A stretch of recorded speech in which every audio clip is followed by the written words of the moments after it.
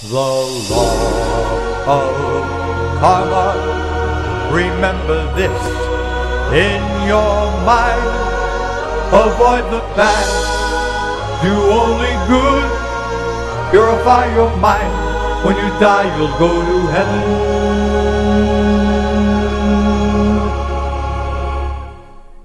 You have to know, and you must know, life's in the cycle of samsara.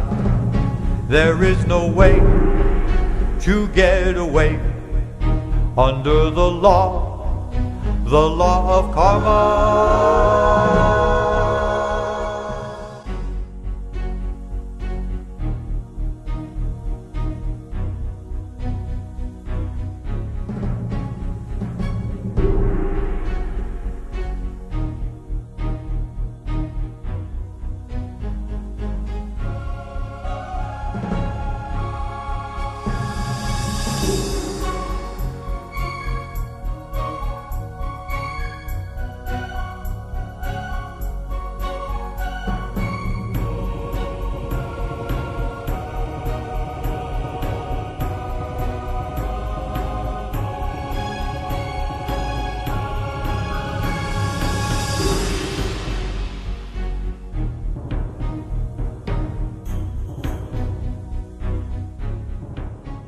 ลูกเป็นนักเรียนอนุบาลฝันในฝันวิทยาผ่านทางจานดาวธรรมลูกมีพี่น้อง I am a student of the Dream and Dream Kindergarten via satellite.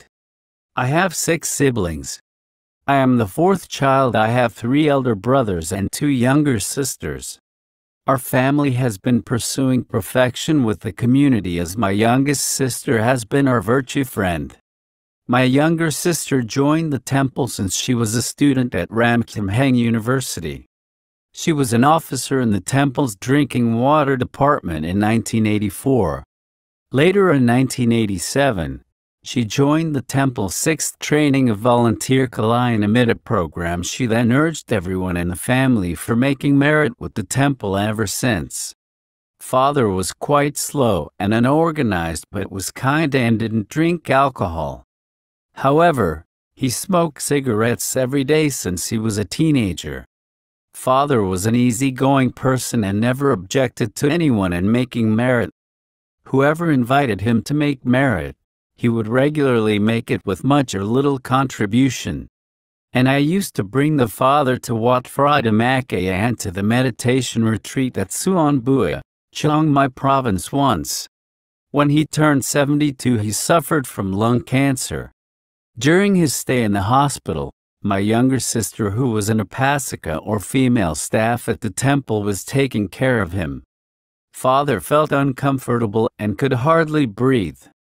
My younger sister gave him meditation guidance to listen through his earphones. He then slowly calmed down. On father's last day, my second brother took a turn to take care of him and didn't let him listen to the tapes. Father died of lung cancer at the age of 74. My parents were selling soft furnishing materials, beddings. My mother mostly managed the business. She was diligent. She minded the children and did all the household chores. Mother was virtuous and when she made merit or when she was to offer things to monks, she would regularly make them herself and offer more delicate things to monks than the ones she used herself. Mother joined in making merit with the Dhammakaya temple since Kathina's ceremony to buy the land at 62.50 baht a square meter. Most of the time she went to the retreat at the temple in Samut Sakhorn province. She came to Dhammakaya temple only for big ceremonies.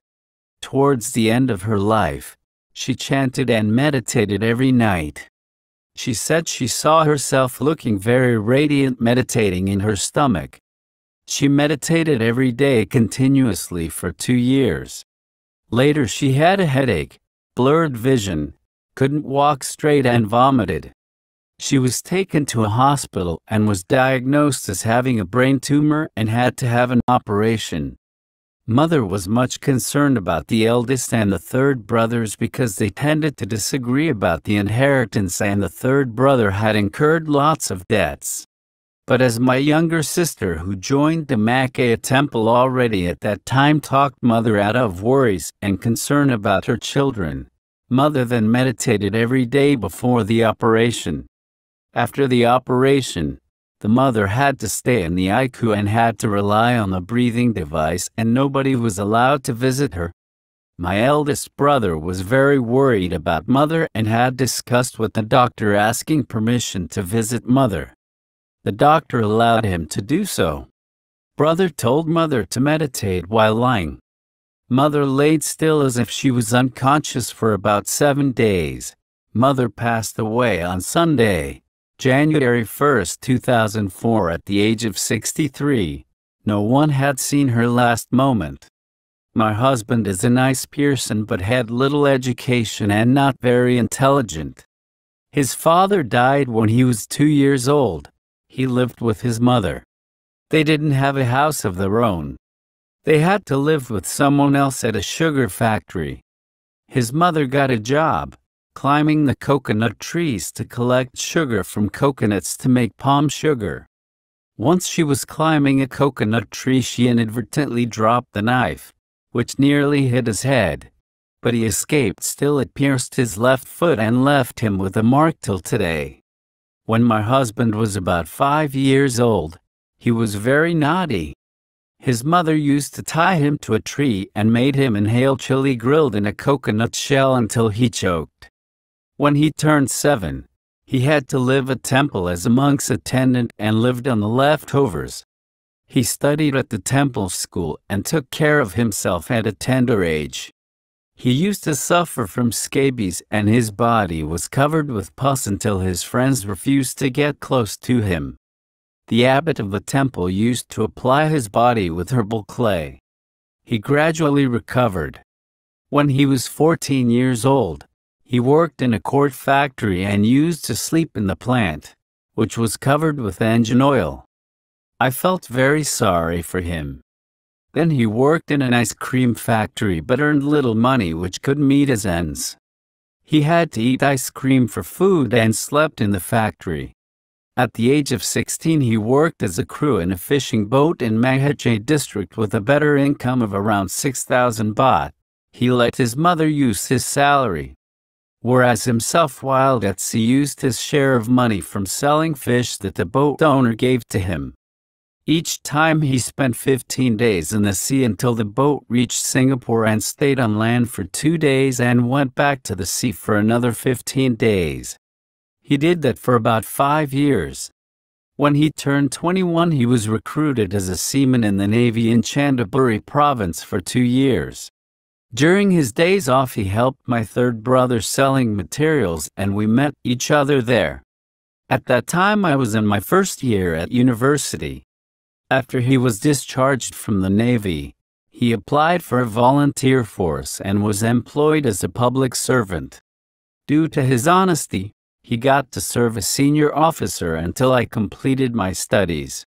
I worked for 10 years and he still followed me regularly until I took pity of him and married him at the age of 38 and he was 39 years old. The senior officer whom he worked for had organized everything for us, and the senior officer had an overseas posting. My husband obviously lost his position, but he still had some superannuation. It was the same time my son was born. My husband had to become a house husband and look after our son, whereas I became a breadwinner. My husband loves the family very much. As he felt so ashamed, he did all the chores, including washing clothes, cooking, and minding our child. I felt nothing for him. Moreover, sometimes I felt irritated and angry with him when he did something I disliked. But he didn't get angry and also told me to calm down. I worked as a public servant in a government department. In my position, I received some bribe money of which my share in some months was more than my normal salary. This money had to be shared and passed on to officers in charge who held higher status. This practice has been done for a long time even before I joined the public service. I used this money for the family's needs and helped many of my relatives. Questions. What karmic retribution made my mother suffer from brain tumor? My mother meditated and saw herself. Was it her celestial body? Mother meditated before the operation, while she was unconscious for seven days. How did she feel? Was she mindful? What was her vision? Where is she now? We dedicated merit to her. Has she received them? Does she has any message for us? What meritorious deed made my husband became a royal page but lost his job because that senior officer had an overseas posing? How did that senior officer relate to my husband as they were attached to each other like mother and son to this day? My son is nine years old. What karmic retribution made him have allergies at this young age? He often sneezes and has a runny nose. He is doing quite well in his studies but very naughty. He hardly sits still. Even at the temple, he was told to meditate but he couldn't sit for more than five minutes. What causes that? How can this be rectified? Does he have ordination merit? My youngest sister pursues perfection at the temple for some time but left to do business. How did she pursue perfection with the community? Would she have opportunity to set herself up? How did my husband, my son, and I make merit with the community? I make merit with faith, but my mind was not quite happy. How could I rectify this? Let's listen to Dream and Dream. I closed my eyes, dreamed, and woke up with these answers. When you tell anybody the story like a tale, it will make anyone know more about retribution, law of karma. Mother had brain tumor because of the karma from killing animals for food in the past life such as hitting fish had came to fruition. Mother used to see herself in meditation. Yes, that was actually her refined body. The fact that mother meditated before the operation made her worry less. While she was unconscious for seven days, it was as if she was asleep. Mother died like someone who fell asleep and woke up in the middle of a golden palace in the second level of heaven Tavatimsa. She is an angel due to the merit she performed in Buddhism ever since.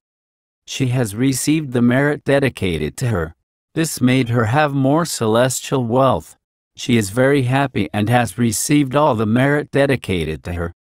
Father suffered from lung cancer due to the cigarette smoking karma in the present life, mainly including the karma from killing animals for food and for selling in the past life, came to fruition. Father died with a bright vision, was reborn as an air spirit due to the merit you made for him and the merit he sometime performed, including the merit dedicated to him. He said that he understood more about merit and demerit, he regretted that he made little merit but has received the merit dedicated to him. Father didn't like the second brother, but he looked after father in the last period of his life. Father didn't really dislike him. Father loves all the children, but this brother was quite naughty. But he loved father and has gratitude as such he came to look after father. In addition, in the past life, he was father's friend and used to support each other. They argued sometimes, reconciled other times.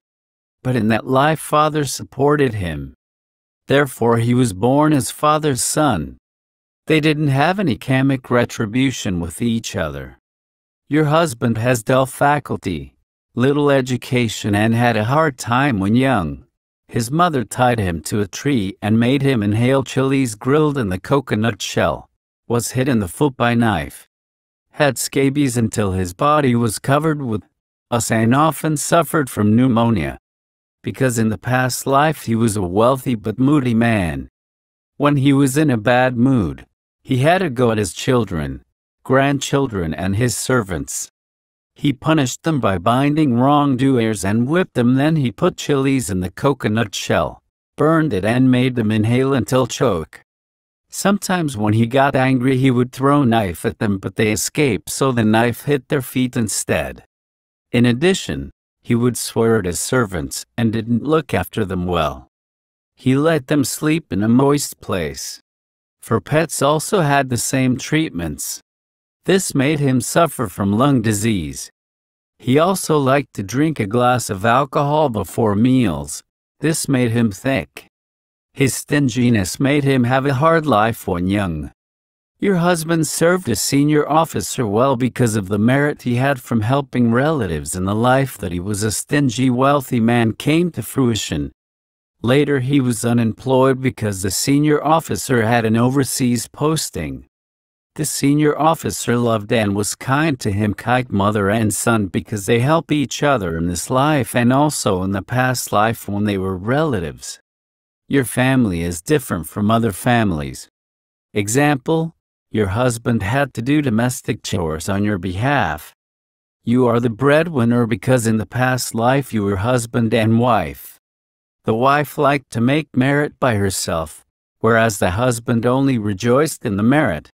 When these merits came to fruition, the situation is as is now. In that life you were the wife of your husband was like this life. You tend to get angry at him without any reason because of the past life's karma that he liked to release his anger by having a go at his children, relatives, and servants in the life when he was a wealthy man. Came to fruition and it is your karma to treat him like this because of exhaustion and stress from work. Therefore, don't do that to him, because he loves you and also this bad habit will not follow you into the next life and if you do that often it will become your habit and you will be an irritable person. The bribe money that you got from your position will bring some karma. Wherever the karma comes to fruition there will be blood-related disease, systemic lupus erythematosus for instance. Dot. But when combing with the killing karma or intentionally committing fraud there would be cancer in the blood or bones cancer for instance, if you make merit with this money. His merit will curtail some of the karma, but when the merit comes to fruition, you will be wealthy, but you will suffer from the above mentioned diseases. Therefore, you should accrue a lot of merit because it is hard to lead a pure and complete life like a cut diamond. On the mundane level, your life would be a mixture of merit and demerit. At the moment you work hard and the opportunity to gain a higher position is hard because your merit power is only at this level as you just did it so don't be discouraged to be diligent in accruing every merit with all your strength and resolve well. Set for the better in the next life because life lifespan in this world is short for everyone. Your nine-year-old son suffers from allergies when young, tends to sneeze and has runny nose because in the past life when he was young he purposely harms animals. For instance, Sometime he got small insects to fight such as crickets. Sometimes he deliberately splashed dogs and cats with water and sometimes he threw them into the water. For instance, this karma comes to fruition. He is doing quite well in his studies but couldn't be still even at the temple because a child at this age is like this, which is better than a motionless child. He has short ordination merit. You should support him well. Your younger sister was pursuing perfection with the community for a while and left the temple to do business. She used to join in making merit with the community. In the previous Buddha era, she was the daughter of a good family. She had a habit of being bored then wanted a change for many lives. When she was a householder and suffered then she felt sick of it and wanted to lead a celibate life. But when she led a monastic life, she felt bored and wanted to be a householder like this. She has enough merit to keep herself well, but if she is careless and does not accumulate more merit, she will be in a difficult situation when the merit she has is exhausted. Yourself, your husband and son used to make merit with the community as a type of supporter in the provision division according to your mood. Sometimes you would, Sometime you would make merit with faith, but your mind is not joyful because you are used to the habit of being irritable due to the stress from being a breadwinner. You should rectify this quickly, if not, when the merit came to fruition, it will not be powerful. For before you acquire any wealth, you would have to feel annoyed with something first. As you know this fact, you should keep your mind clear by meditation regularly. In this life we meet again You should pursue perfections in all merit with fullest efforts and make a resolution to follow our community to Tusita or the fourth level of heaven, in the special merit zone and never stray away from our community.